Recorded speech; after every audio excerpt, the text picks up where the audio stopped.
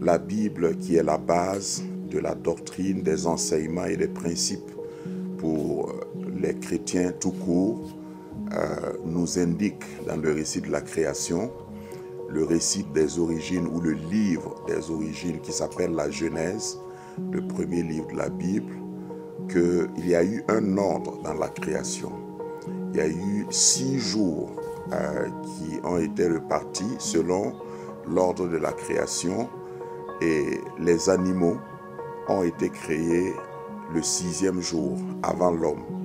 Il y a eu deux créations le sixième jour selon l'ordre et le récit biblique. Dieu a créé l'espèce animale et, il a créé l'homme. Dans la chronologie de la création, les animaux sont venus avant l'homme. Dieu a euh, déjà orienté cela pour que l'homme, dans Genèse 1, 26, il a dit, quand il créait l'homme, nous voulons que l'homme domine sur les animaux qui sont sur la terre, les oiseaux du ciel, etc. Donc, Dieu a de la considération pour les animaux. Il faut aller jusqu'à Genèse chapitre 9, euh, après le déluge, pour ceux qui connaissent la Bible, pour voir que Dieu donne euh, l'autorisation à l'homme de manger les animaux. Sinon, l'homme ne mangeait pas la viande des animaux au début. Quand Dieu a créé les animaux, la Bible dit que Dieu les a bénis. Encore pour parler du respect euh, dans la Bible euh, concernant tout ce qui est espèce vivante. Et ensuite, quand nous venons dans la loi de Moïse, nous voyons que Dieu, dans les dix commandements, a dit, tu ne convoiteras pas la femme de ton prochain, ni son champ, ni son bœuf, hein, pour paraphraser, pour dire encore que Dieu euh, tient à la préservation des animaux. Vous allez me demander si les animaux ont des droits dans la Bible.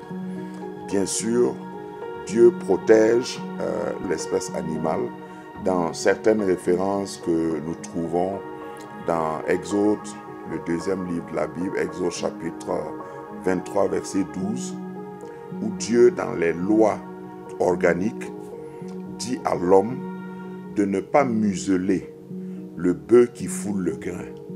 Ce que ça veut dire en termes simples, lorsque le bœuf travaille pour toi, il ne faut pas l'empêcher de manger. Le bœuf doit avoir un salaire s'il travaille. L'âne que tu utilises doit avoir un traitement spécial.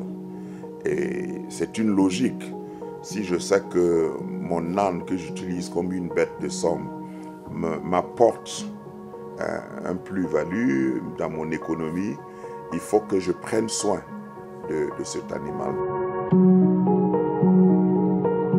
Dans Deutéronome 14, 21, Dieu donne un commandement toujours dans les lois organiques, en disant, tu ne cuiras pas le chevreau dans le lait de sa mère.